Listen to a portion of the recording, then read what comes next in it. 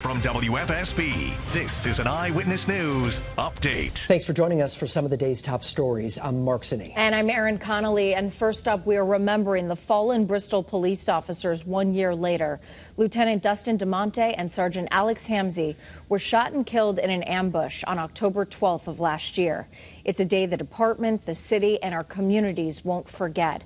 Tributes are still coming in as we honor and remember the officers.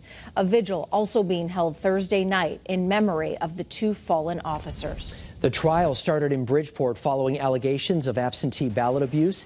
A judge will now decide if the issue is a big enough problem to trigger a new Democratic primary. Last month, video surfaced showing a supporter of Mayor Joe Ganim stuffing a number of envelopes into a ballot drop box. The hearing could pick up on Friday as they focus on this surveillance video at the center of the case.